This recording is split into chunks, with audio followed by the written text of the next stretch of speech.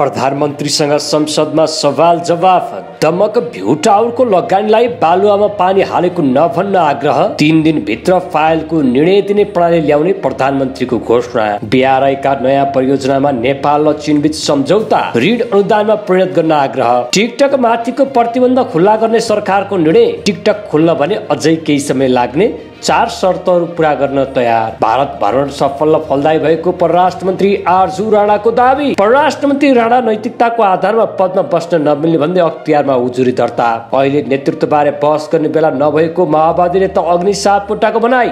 भन्छन् पार्टी फुटको तरङ्ग हल भइसक्यो। एकीकृत समाजवादीले भन्यो नेताहरूबारे नकारात्मक कुरा सामाजिक सञ्जाल फेसबुक लगायतमा नलेख्न आग्रह। संसदीय समितिमा पुष्पराज पुरुषको निवेदन जीवी राईले पचास करोडको सम्पत्ति सम्पत्ति हडेपको दावी सर्भरबाट खुल्यो जीबीको दस वर्षीय सहकारी अपचलन अरू को को मुचिँदैछन् पुरै जानकारी आजको समाचारमा। आज रवि लामी छानेलाई बयान लिँदै संसदीय समिति प्रहरीमा तिस वर्ष सेवा अवधि तत्काल कानुन नगर्न सर्वोच्चको अन्तरिम आदेश सेवा हदबारे सर्वोच्चको आदेशले प्रहरीमा तरङ्ग आँखा फिल्मको टिजर सार्वजनिक नदी किनारका सुकुम्बासी स्थानीय सरकार बीच तनावको कथा समावेश। साफ अन्डर ट्वेन्टी च्याम्पियनसिपमा बङ्गलादेशलाई हराउँदै नेपालसम्म विजेता लगायत समाचार हेर्न सक्नुहुनेछ। कुन ठाउँदेखि हेर्दै हुनुहुन्छ कृपया लेख्नुहोला। हाम्रो च्यानल सब्सक्राइब गर्नुभएको छैन भने कृपया च्यानल सब्सक्राइब गर्न नभुल्नुहोला।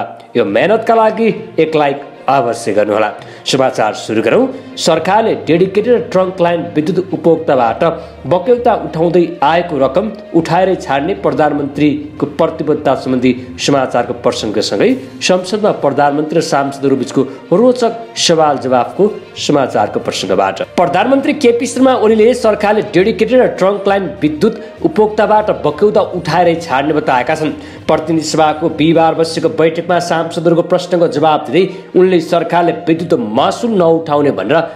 कहिले नभनेको बताए। ओलीले विद्युत महसुलबारे अनावश्यक हल्ला चलाइएको दावी समेत गरे।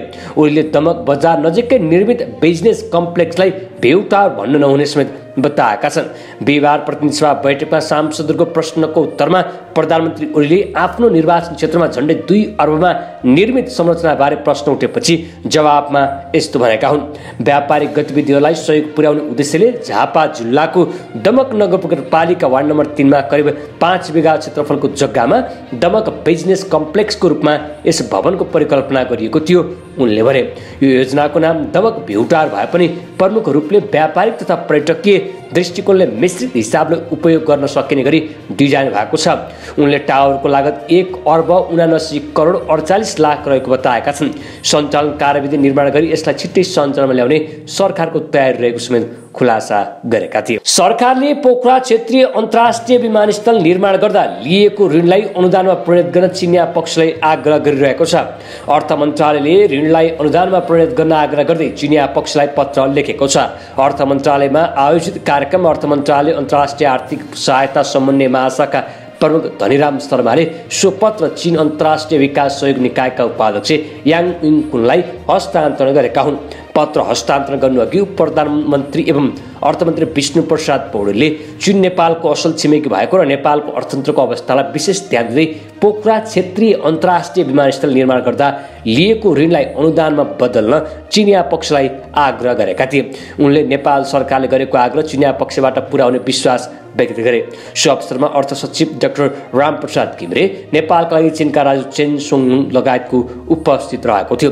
पोखरा क्षेत्रीय अन्तर्राष्ट्रिय विमानस्थलका लागि नेपाल सरकारले चिनको एक्जिम ब्याङ्कबाट करिब हालको विनिमय दर अनुसार करिब पच्चिस अर्ब अठासी करोड अर्ब करोड ऋण लिने सम्झौता गरेको थियो। विक्रम सन् दुई हजार बहत्तर चैत आठ गते पोखरा क्षेत्रीय अन्तर्राष्ट्रिय विमानस्थल निर्माणका लागि ऋण सम्झौता भई दुई हजार त्रिहत्तर साल पुस सत्ताइस गतिबाट निर्माण सुरु भएको थियो। सरकारले टिकटकमाथि प्रतिबन्ध खुलाउने निर्णय गरेको छ। बिहिबार बसेको मन्त्री परिषद बैठकले शर्तसहित टिकटकलाई लगाइएको प्रतिबन्ध खुला गर्ने निर्णय गरेको सञ्चार मन्त्री एवं सरकारका प्रवक्ता पृथ्वी सुब्बा गुरुङले जानकारी दिएका छन्। बैठकले टिकटकलाई तिन महिनाभित्रमा विभिन्न मापदण्ड र प्रक्रिया पुरा गर्न पनि सरकारले निर्देशन गरेको छ। तत्कालीन पुष्पकमल दाल प्रचण्ड सरकारले गत वर्षको कार्तिकदेखि सामाजिक विकृति बढाएको भन्दै टिकटक बन्द गर्ने निर्णय गरेको थियो। टिकटक खुल्न भने केही समय लाग्ने जनाइएको छ। परराष्ट्र मन्त्री डाक्टर आर्जु राणा देउवा पाँच दिने भारत भ्रमण सकेर स्वदेश फर्किएकी छिन्। बिहिबार दिउँसो चार बजे त्रिभुवन अन्तर्राष्ट्रिय विमानस्थलमा ओर्ली लगत्ती उनले भारत भ्रमण सफल भएको दावी समेत गरिन्। पत्रकारसँगको कुराकानीमा मन्त्री राणाले भारतीय प्रधानमन्त्री नरेन्द्र मोदीलाई प्रधानमन्त्री केपी शर्मा ओलीका तर्फबाट नेपाल भ्रमणका लागि निम्तो पत्र हस्तान्तरण गरेको जानकारी दिन्। यस्तै भारतीय समकक्षी एवं जयशङ्करको द्विपक्षीय भेटमा व्यापार पारवान सीमा पूर्वाधार पञ्चेश्वर परियोजना लगायत क्षेत्रमा कुराकानी भएको उनले बताएका छन् मन्त्री राणा गएको आइतबार भारत भ्रमणमा गएकी थिइन्। यता परराष्ट्र मन्त्री डाक्टर आर्जुना देवा विरुद्ध युवराज सफलले अख्तियार दुरुपयोग अनुसन्धान आयोगमा उजुरी दर्ता गराएका छन्। परराष्ट्र मन्त्री राणा प्रमाणित हुने गरी नक्कली भुटानी शरणार्थी प्रकरण टिकापुर जग्गा अनियमिततामा जोडिएको दावीसहित उजुरी दर्ता गराएका हुन्। डाक्टर राणाले आफूमाथि लाग्दै आएको आरोपमा अदालतबाट सफाई नपाउँदासम्म नैतिक आधारमा पदमा बस्न नमिल्ने उनले उजुरीमा उल्लेख गरेका छन्। उनले राणालाई नैतिकताको आधारमा राजीनामा दिन लगाई तत्काल अनुसन्धान गर्न अख्तियारलाई भनेका छन्। उजुरीमा भनिएको छ। परराष्ट्र मन्त्री आर्जु देउवा प्रमाणित हुने गरी नक्कली भुटान शरणार्थी र टिकापुर जग्गा अनियमिततामा प्रकरणमा जोडिएको देखिन्छ। मन्त्री हुन उच्च नैतिकता हुनुपर्ने हुँदा उहाँले उल्लेखित प्रकरणमा अदालतबाट सफाई नपाउँदासम्म उहाँले नैतिकताको आधारमा पदमा बसिराख्न मिल्दैन। तसर्थ तत्काल निजी विपक्षी आर्जु राणा देउवालाई नैतिकताको आधारमा राजीनामा दिन लगाई उहाँ उप तत्काल अनुसन्धान गर्न सम्मानित अख्तियार दुरुपयोग अनुसन्धान आयोगमा ध्यान आकर्षण गराउँछु। यदि यस उजुरी उप कारवाही नगरे सम्मानित सर्वोच्च अदालतसम्म जाने पनि जानकारी गराउन चाहन्छु उनले भनेका छन्। उनको यो आरोप तपाईँलाई कस्तो लागेको छ? कृपया आफ्नो विचार तलको कमेन्ट बक्समा कमेन्ट गर्न नभुल्नुहोला नेकपा माओवादी केन्द्रका नेताहरूले पार्टीको विचारलाई सशक्त ढङ्गले जनतामा लानुपर्ने सुझाव दिएका छन्। पार्टी कार्यालय पेरिस्टेडामा बिहिबार सम्पन्न बागमती प्रदेशबाट केन्द्रमा प्रतिनिधित्व गर्ने केन्द्रीय सदस्य र प्रदेश पदाधिकारीको परामर्श बैठकमा उनीहरूले सो सुझाव दिएका हुन्। पार्टी प्रवक्ता अग्नि सापकोटाका अनुसार पार्टीभित्र उन्नत स्तरको बस सृजना गर्दै त्यसलाई सशक्त ढङ्गले जनतामाझ लानुपर्ने सुझाव आएको बताएका छन्।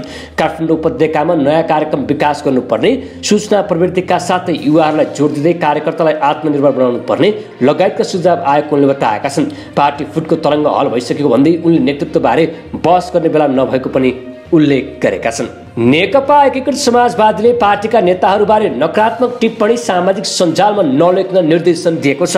महासचिव घनश्याम भूषालले बिहिबार एक परिपत्र जारी गर्दै मातृका कमिटीलाई पार्टी नेताहरूबारे सामाजिक सञ्जालमा नकारात्मक नलेख्न र सेयर नगर्न निर्देशन दिएका हुन्। राजनीतिक व्यक्ति आफूप्रति मात्रै उत्तरदायी भएर पुग्दैन। हामीसँग समाजले पार्टीले कमिटीले र अरू कमरेडहरूले पनि उत्तरदायित्वको माग गर्छन् भन्ने कुरा हामीले बुझ्नुपर्छ।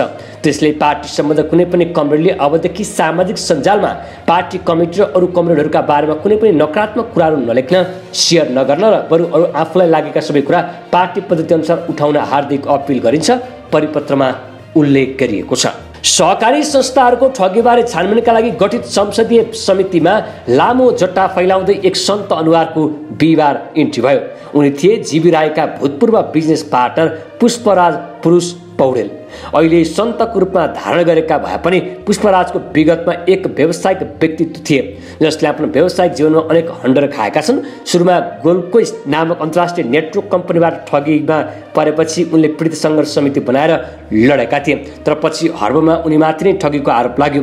यद्यपि अदालतबाट सफाइ पाउन सफल भए त्यसपछि उनी अध्यात्म र राजनीतिमा लागेका हुन्। हाल राष्ट्रिय प्रजातन्त्र पार्टी मातहतको सनातन धर्म संस्कृति सङ्गठनको अध्यक्ष छन्।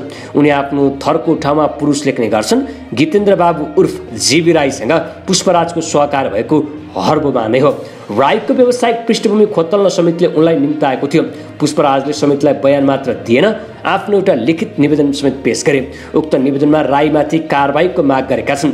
आफूहरूसँगको सहकारमा जीवी राईले पचास करोड रुपियाँ बराबरको सम्पत्ति कब्जा गरेको तथा आफूलाई व्यक्तिगत तवरमा दस करोड रुपियाँ दिनुपर्ने पुष्पराजको माग दाबी रहेको छ। सर्वोच्च अदालतले नेपाल प्रहरीमा तिस वर्ष सेवा हद तत्कालका लागि कानुन नगर्न अन्तरिम आदेश जारी गरेको छ ट्राफिक प्रहरी महाशाखामा कार्यरत नेपाल प्रहरीका प्रहरी वरिष्ठ प्रेक्षक एसएसपी ईश्वर श्रेष्ठ एक्काइसजनाले दायर गरेको रिटमा न्यायाधीश हरि फयालको इजलासले अन्तरिम आदेश जारी गरेको हुन् सर्वोच्चको अन्तरिम आदेशसँगै अवकाशको पत्र पाएका प्रहरी निरीक्षक इन्सपेक्टरदेखि वरिष्ठ प्रहरी उप्रेक्षक एसएसपी सहित एक्काइसजनाको जागिर तत्कालका लागि जुगिएको छ। उनीहरू यस मुद्दाको अन्तिम फैसला नहुँदासम्म नेपाल प्रहरीको सेवामा रहनेछन्। त्यसबाहेक तिस वर्ष सेवा अवधिका आधारमा केही समयभित्रै अवकाशमा जान लागेकाहरू पनि सेवामा कायम रहनेछन्। अन्तरिम आदेशमा रिटकर्ताहरूलाई जस्तै अन्य व्यक्तिको हकमा यस्तो यस्तो पत्राचार नगर्न भनिएको छ। यो फैसलाले प्रहरी वृत्तमा एउटा तरङ्ग पैदा भएको छ। जोन एन्जन निर्देशित सोसल ड्रामा फिल्म आँखाको मर्मस्पर्शी टिजर सार्वजनिक भएको छ। डेढ मिनट रन टाइमको टिजरले फिल्मको कथावस्तु र चरित्र चित्रणबारे महत्त्वपूर्ण प्रकाश पार्छ। टिजर अनुसार फिल्मको कथावस्तु काठमाडौँको बागमती नदी किनारको सुकुम्बासी बस्तीमा टरो बनाएर बस्दै आएका मानिस र उनीहरूलाई त्यहाँबाट हटाउन खोज्ने स्थानीय सरकार बिचको तनावमा केन्द्रित छ। टिजरले केही समय अघि थापाथलीको बागमती किनारका बासिन्दालाई हटाउन खोज्ने काठमाडौँ महानगर र सुकुम्बासी बिचको झडप र रसाकसीको क्षण सम्झाउँछ। टिजरको अन्त्यमा एउटा संवाद राखिएको छ। यिनीहरूले गर्दा यो सहर गनाइसक्यो। फिल्मले नदी किनार ओगटेर बसेका सुकुम्बासी व्यवस्थापनको एउटा महत्त्वपूर्ण मुद्दालाई उठान गरेको छ। डेब्यू निर्देशक युञ्जनले काठमाडौँ महानगरका प्रमुख बालेन शाहले खेपिरहेको यति बेला ज्वलन्त मुद्दालाई फिल्मको कथावस्तु बनाएका छन्। फिल्ममा बुद्धि तामाङ विजय बराल स्मिता लामी छाने आरके मेहता निशा अधिकारी पशुपति राई राजन खतिवडा अभय बराल लुनिता तुलाधर कृष्णभक्त मर्जन सरोज खनाल र प्रसन्न राईको अभिनय छ यो फिल्म असोज एघार गतेबाट प्रदर्शन हुँदैछ। अब अन्तर्राष्ट्रिय समाचार। युक्रेनले रुसको मस्कोमा अहिलेसम्मकै ठुलो ड्रोन आक्रमण सुरु गरेको छ। पछिल्लो समय रुसको कुर्कस क्षेत्रमा आक्रमण गरेर बाह्र सय वर्ग किलोमिटर क्षेत्र कब्जा गरेको युक्रेनले गैराती आफूले प्रहार गरेका मध्ये अहिलेसम्मकै ठुलो ड्रोनबाट मस्कोमा आक्रमण गरेको कतारको सञ्चार माध्यम अल जजिराले जनाएको छ। रुसको रक्षा मन्त्रालयले युक्रेनले आक्रमणका क्रममा एघारवटा ड्रोन खसालेको र त्यसमध्ये एउटा युक्रेनले प्रहार गरेको मध्ये अहिलेसम्मकै ठुलो रहेको जनाएको छ। मस्कोलाई लक्षित गरेर प्रहार गरेका केही रकेट र ड्रोनलाई अडतिस किलोमिटर परको पोडोलेक्स सहरमा खसालेको रुसले जनाएको छ। यो ड्रोनको प्रयोग गरेर मस्कोमाथि आक्रमण गर्ने अहिलेसम्मकै सबैभन्दा ठुलो प्रयास हो। मस्कोमा मेयर सर्गै सोनबर्टले टेलिग्राम मेसिङ एपमा भनेका छन् ड्रोन आक्रमणबाट कुनै क्षति वा मानवीय हताहत भएको छैन। अब खेल समाचार। समूह चरणको आफ्नो अन्तिम खेलमा बङ्गलादेश विरुद्ध दुई एकको जित निकाल्दै नेपाल समूह एकको विजेता बन्दै साफ अन्डर ट्वेन्टी च्याम्पियनसिपको सेमी फाइनलमा प्रवेश गरेको छ। बिहिबार सात बाटो स्थित एन्फा मुख्यालयमा भएको खेलमा नेपाललाई जित दिलाउन समीर तामाङ र निराजन धामीले गोल गरे। यस्तै बङ्गलादेशका मिस मिराइजुल इस्लामले एक गोल गरे। खेलको तिन गोल नै पहिलो हाफमा भएको थियो। खेलको सत्र मिनटमा तेस्रो सेकेन्डमा नेपालका समीरले गोल गर्दै घरेलु टिमलाई अग्रता दिलाएका थिए। बङ्गलादेशको कर्नरलाई नेपाली रक्षकले क्लियर गरेको बललाई बङ्गलादेशी गोलकिपरबाट खोज्दै समीरले खाली पुस्टमा बललाई जाली चुमाए यसको एक सय नौ सेकेन्डपछि नेपालका निराजनले घरेलु टिमका अग्रता दिलाएका थिए। निराजनले अठार मिनटको बाहन्नौ सेकेन्डमा गोल गरेपछि नेपालको अग्रता दुई शून्यमा पुर्याएको थियो। बयालिस मिनटमा मिराइजुल लामले गोल गरेपछि बङ्गलादेशको पहिलो हाफमा स्कोरलाई दुई एकमा ल्यायो। अठार एयरबक्सभित्र नेपालका रक्षकले इस्लाममाथि नै फला फाउल गरेपछि बङ्गलादेशले पेनाल्टी अवसर पाएको थियो। जसमा इस्लामले कुनै गल्ती गरेनन् त्यसपछि दुवै टिमबाट थप गोल हुन नसक्दा नेपाल जितसहित समूह विजेता बनेको हो। नेपालले अब फाइनल प्रवेशका लागि समूह बीको विजेतासँग प्रतिस्पर्धा गर्नेछ। हेर्दै गर्नुहोला बिजिएम खबर। नमस्कार।